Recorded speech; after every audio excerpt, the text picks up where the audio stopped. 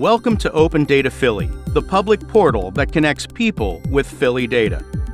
Open Data Philly is a portal that provides access to data about the Philadelphia region. Most of this data is in the form of downloadable data, online apps, and application programming interfaces or APIs, which is a fancy term for data that can be used by a programmer to create a computer application program. There are other formats as well, and we use the term datasets to refer to any of them.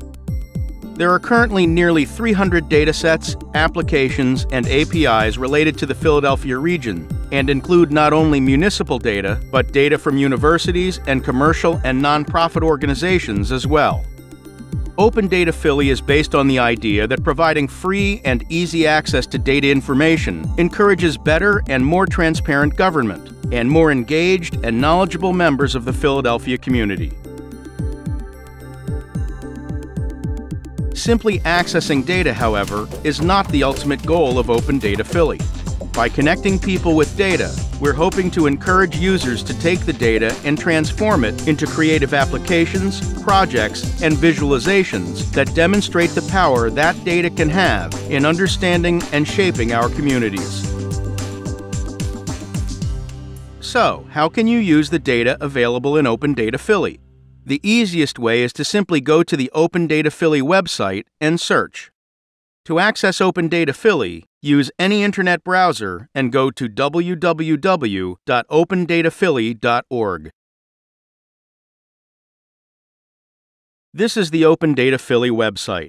You can see that there is a Search Data box in the center of the page, just below the welcome text. You can type one or more keywords here to return all of the entries for that keyword. Let's try this now. Let's type MAPS into the search box and press Enter you'll see we get a list of 58 map portals. Note that these are all map portals, and each one may contain dozens of maps and collections of map data. Let's scroll down until we see the City Maps portal. You can see a basic description of the available data, and just below this, we can see that the data is in the form of HTML, meaning a website.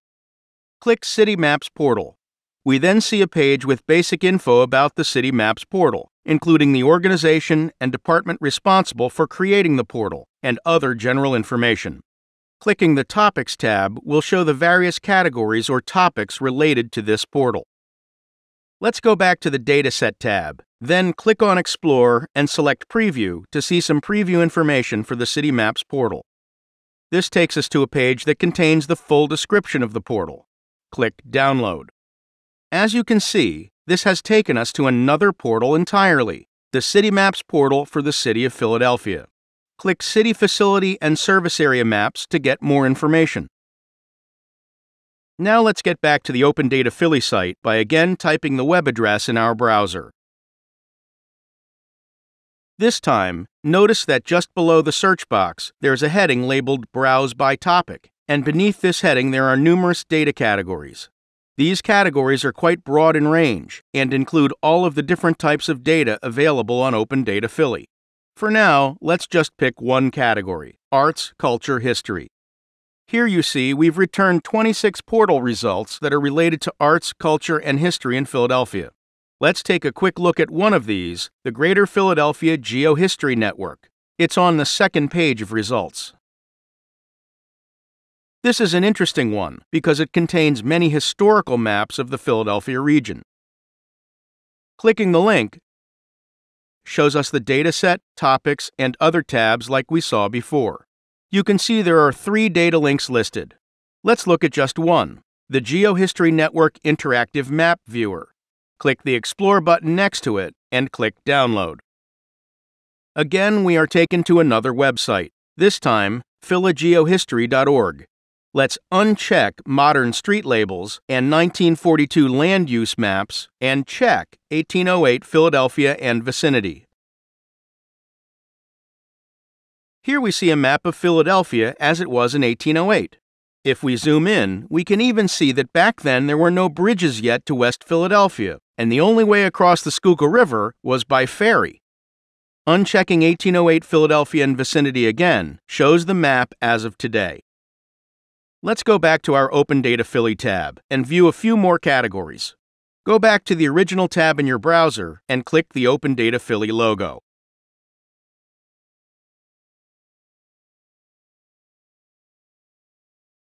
Looking again at topics, you can see there's a wide gamut of categories budget and finance, Philly economy, elections and politics, health and human services, public safety, real estate and land records, and even more. Let's click on Food from the list. And look what we have here happy hour and drink specials.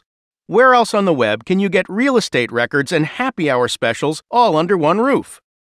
That's what's so great about Open Data Philly. It's not just about municipal records, although it does have just about every municipal record you could imagine. It also has lots of information about arts, culture, and fun in Philadelphia. So we hope you've enjoyed this quick tutorial. For more tutorials and for more information, please visit www.opendataphilly.org.